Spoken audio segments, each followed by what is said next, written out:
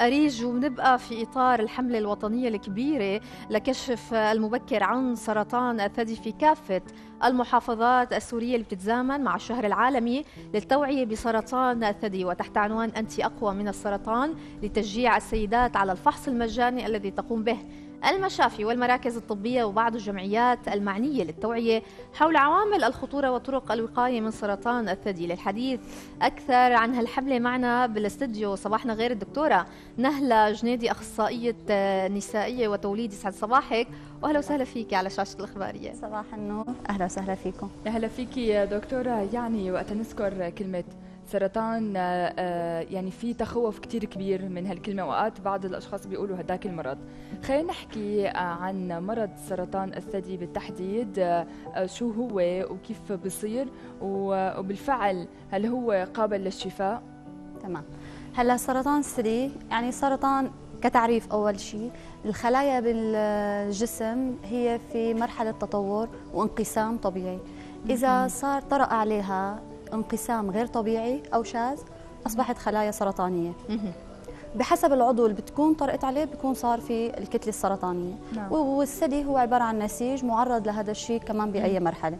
فهذا هو سرطان الثدي هلأ نحن الشيء اللي بخوف إنه في نسبة متزايدة طبعا حسب الإحصائيات لسرطان الثدي. بس الجانب المشرق إنه نسبة البقية سرفايفل له آه كمان عم تزداد بحسب الإحصائيات. نحن إحصائياتنا بتكون عادة كل 50 سنة. يعني مثلا ما إنه والله كل يوم والثاني بتكون الإحصائيات. بس كمان معدل الشفاء كثير مرتفع بحسب المرحلة اللي نحن بنكون كاشفينها للسرطان. يعني على سبيل المثال إذا كان بال stage zero in situ موضع بتكون نسبة الشفاء توصل فيه ل 99% لما نحن بنهمل هي المرحلة تزداد مثلا آه، نسبة يعني المرحلة اللي لنوصل للرابعة مثلا ممكن نسبة الشفاء تنزل لمستوى أقل من هذا الشيء بكثير فنحن كثير بهمنا موضوع أنه الكشف المبكر لحتى يكون في نسبة شفاء كويسة ونسبة عالية.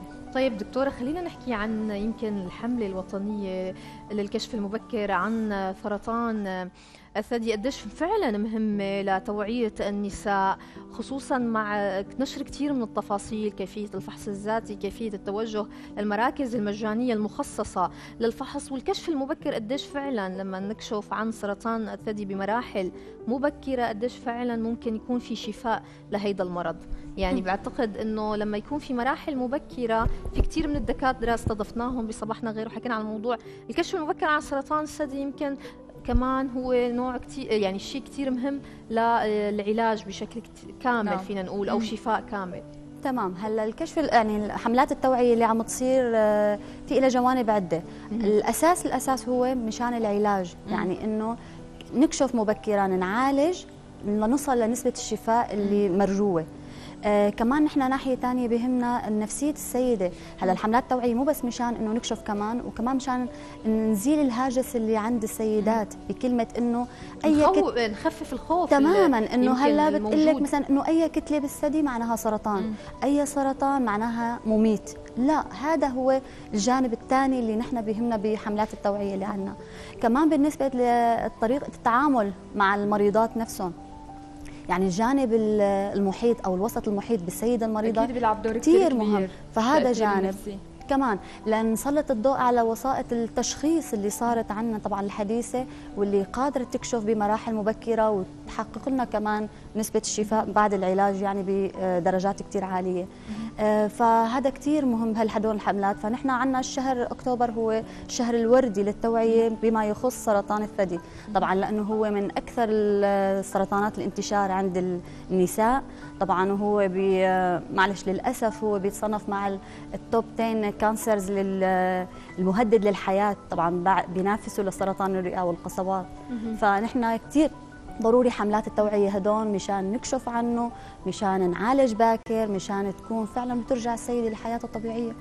آه، دكتورة نحن أكيد بهذا الشهر دائما بنركز على موضوع الفحص الذاتي. هذا أمر كثير مهم. لازم كل سيدة ما تهمل هذا الموضوع. يعني إذا هملت شوي روحتها على مركز صحي وتعرض آه، آه، لبعض الصور هذا الموضوع ما لازم تهمله أبدا. الفحص الذاتي كيف بيتم؟ هلا نحن بالنسبة هذا من ضمن التشخيص يعني الفحص. يعني الفحص بيكون فحص ذاتي شهري عند السيدة فحص دوري سنوي عند الطبيب نعم. بالإضافة للوسائل الثانية التشخيصية بالإيكوغرافي أو الماموغرافي أو الخزع أو ما شابه. الفحص الذاتي يعني إنه كل سيدة قادرة. طبعا هذا الحكي ببلش عند الصبية بسن العشرين. شهريا ويستمر. آه والفترة المناسبة له عادة بتكون هي بالأيام الخمسة للسبعة الأولى من الدورة. بالحمام لما بيكون مثلا لسه بيكون آه آه قبال المراية في له كذا مرحلة. آه التأمل وجه لوجه على المراية بتراقب الصبية آه، في تناظر أم لا في كتلة ظاهرة أم لا في تغير باللون. طبعا هذا بيشمل آه، جلد الثدي الحلمي مثلا آه، بتراقب إنه في في شيء مغير في ظهرت ندبات مثلا ظهرت تقرحات تقشرات أو شيء هذا طبعا بوضعية معينة بتكون واضعة السيده إيديها على الوركين بمرحلة أولى المرحله الثانية بترفع إيديها لفوق كمان المرحلة الثالثة بتكون على الجانبين اليمين واليسار. في وضعية ثانية بتكون هي تصير بمرحلة الجس براحة اليد. كل يد للثدي المقابل يعني الجنب الثاني. طبعا بضغط خفيف بحيث إنه أي شيء بتحسه هي غير طبيعي تستفسر عنه من قبل طبيب سواء الأخصائي النسائية أو أخصائي جراحة أو أخصائي الأورام وأمراض الثدي. آه كمان آه نفس الشيء إنه سيدة بوضعية الاستلقاء الظهري بالمايل لليمين أو اليسار هدول من طرق الفحص الثدي طبعا وبتشمل مثل ما قلنا الثدي الحلمة ومنطقة الابطين لحتى تكشف أي شيء غير طبيعي. من ناحية الشكل من ناحية المظهر من ناحية القوام من ناحية اللون. أي شيء بتحسه غير طبيعي تسال عنه. بالتأكيد. طيب دكتورة خلينا نحكي مثل ما قلتي مو أي كتلة ممكن من خلال الفحص الذاتي تكون هي كتلة سرطانية. هي نقطة كثير مهمة لأنه في غدد يمكن بلغمية أو لمفاوية موجودة.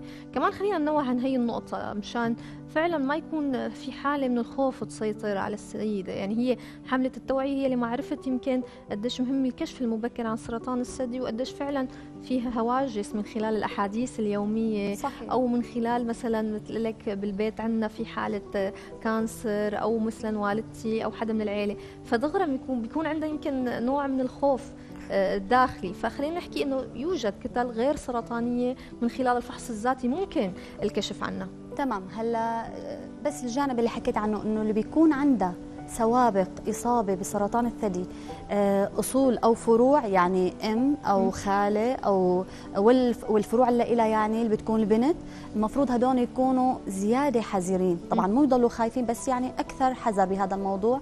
آه، ما يد بس ما أنه والله يوقفوا عند الفحص الذاتي أو فحص الطبيب لازم فعلا للفحوص الثانية اللي هي مثلا الماموغرافي لحتى يعني يكشف أي مرحلة بتكون باكره لأنه هي معرضة أكثر من غيرها. آه مو أي كتلة بالثدي هي كتلة سرطانية. لأنه ممكن تكون كتلة حميدة صحيح. ممكن تكون كيسة. بس لأنه السيده ما بتعرف تسأل مين هو خبير بهذا الموضوع. فإذا آه، تأكدوا إنه سليم خلاص بتكون طمنت.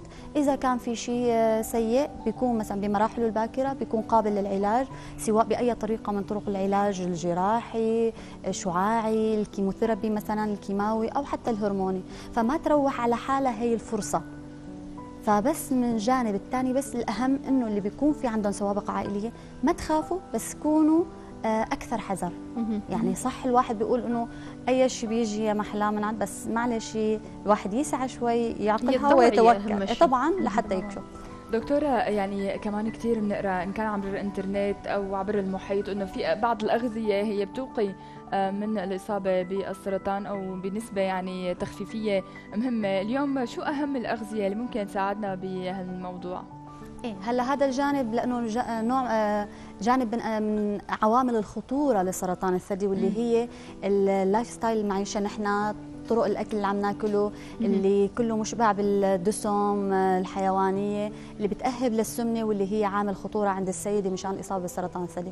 فنحن لما بنقول وقاية ما في شيء وقاية بس يعني بنخفف من عوامل الخطورة يعني بحيث إنه نحمي حالنا من السمنة.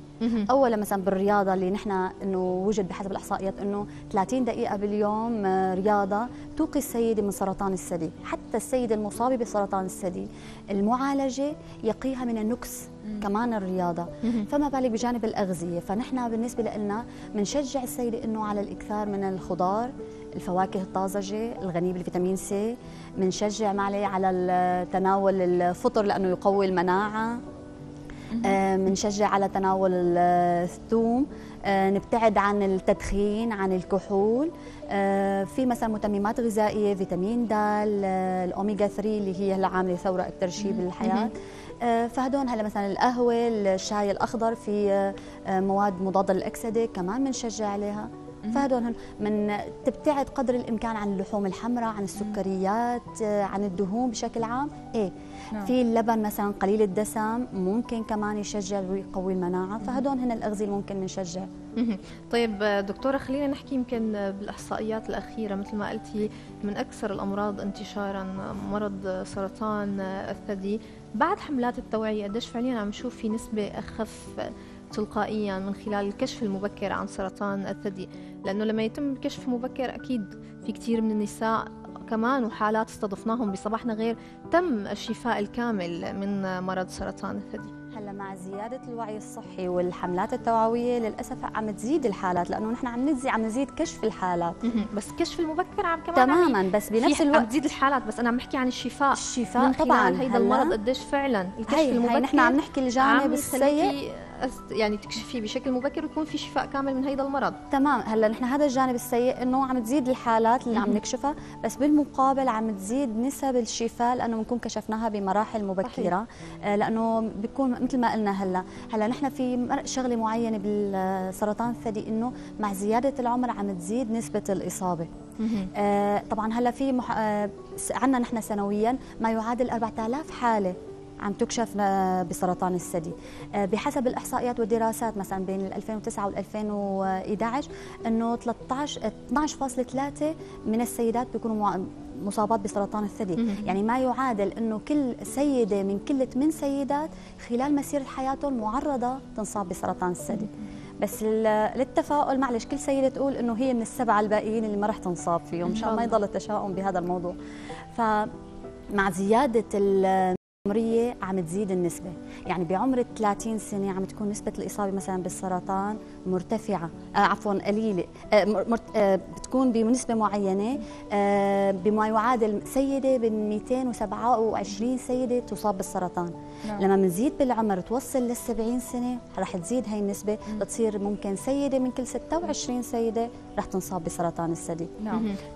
قلنا عن العلاج والكشف المبكر عالجنا بالمرحلة الموضعة نسبة الشفاء 99% تركناها لو وصلت للدرجات المتقدمة رح تكون نزلت النسبة ل 30% نعم. آه، دكتورة آه، ذكرت لنا في عوامل خطورة آه، ممكن تؤدي للإصابة بسرطان الثدي. غير أنه بيكون الصبية حدا من قرايبنا. شو هي عوامل الخطورة ممكن تأثر على هذا الموضوع؟ هلا الجنس السيدة معرضة أكثر يعني الأنثى أكثر من الذكر. نعم.